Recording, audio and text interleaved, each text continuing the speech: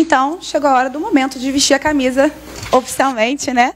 Rodrigo Dunche, Reinaldo Belotti, Marcos Braz e Bruno Spindel vão entregar a camisa para o novo atacante do Mengão, o Luiz Araújo, que vai vestir a camisa de número 22. Como até o atleta já falou, era um desejo antigo né, dele, inclusive de toda a família, que agora vai ficar mais pertinho do jogador. A gente tirando, mostrando agora esse momento da foto oficial pelas lentes do fotógrafo Gilvan de Souza. E também vai receber o cartão, vai responder as perguntas de jornalistas e após a coletiva, o Marcos Braz e Bruno Spindel ficarão à disposição de toda a imprensa. E aí agora chegou o momento de vestir o manto sagrado. E com as fotos, claro. Só o barulhinho aqui das lentes do Gilvan de Souza. Muito bem trajado, com cartão também em mãos. E esse era o momento tão esperado.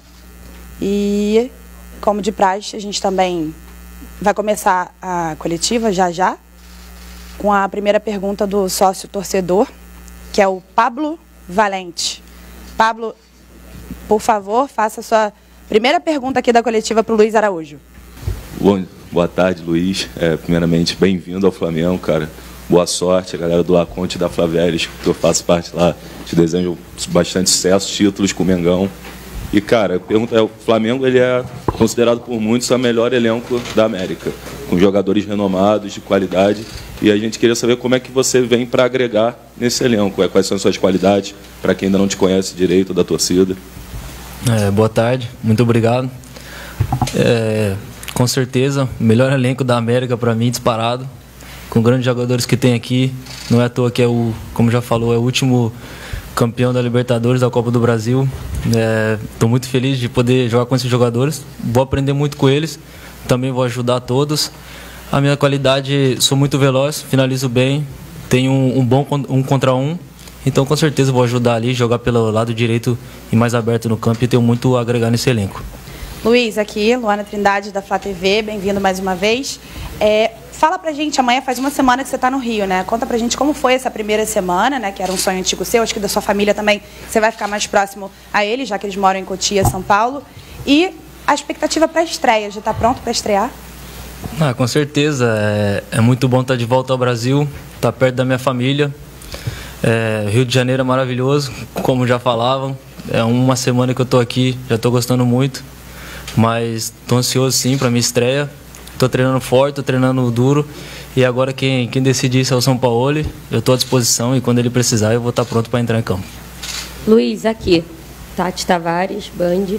É, você saiu do São Paulo, foi para a França, Estados Unidos e aí agora você volta para o Brasil. Queria que você falasse um pouquinho o que, que foi determinante nessa sua escolha pelo Flamengo, por voltar ao futebol brasileiro. O que, que foi mais importante aí nesse, nessa sua decisão?